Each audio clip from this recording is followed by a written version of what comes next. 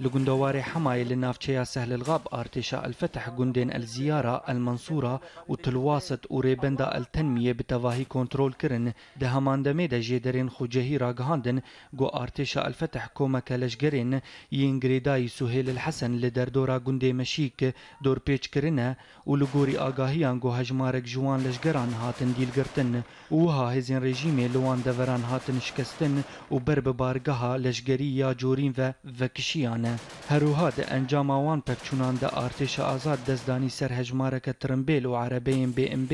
و هەژمارەك ژی تێکشکاندن. لە حەلەبێ تۆرەی نوچەیان ڕاگەهاندن گۆ ئارتێشە ئازاد تەواهەیە گوندێ باشکۆی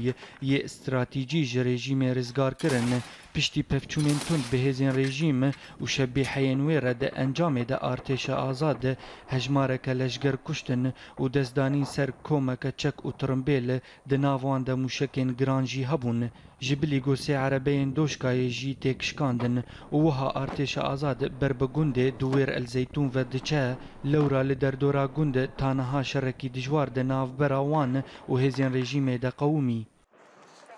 Li gundewarê Şamê û di berdewamiya şerê zebedanî de çalakvanan dane diyarkirin got artêşa azad de ser leşgerekî rejîmê tevî heşt leşgerên wî û sê çekdarên Hizbullah li nêzî rêbenda el muessesa li nêzî rêbenda el muessesa li derdora bajar kuştin piştî pevçûnên dijwar di navbera herdu aliyan de. ده همان دمه ده هجمارک چکدارین حزب الله لسر ریا سرغایا و سلطانی هاتن کشتن هروها فروکین شر یین رژیمه بسیو ده برمیلین تقینر و موشکین زمین زمین تاغین زبدانی توباران کرن و ده انجام ده گلک زیانین مادی گهشت آواهین باجار جبلی گو هجمارک سویل بون قربانی هر دمه لزبدانی جیدران دان دیار کرن گودان استاندن ده نافبرا احرار الشام و شانده یک ایرانی چه دبه تا گۆلهevکردنێک ji bo agirbiestekê di navbera herdû aliyan de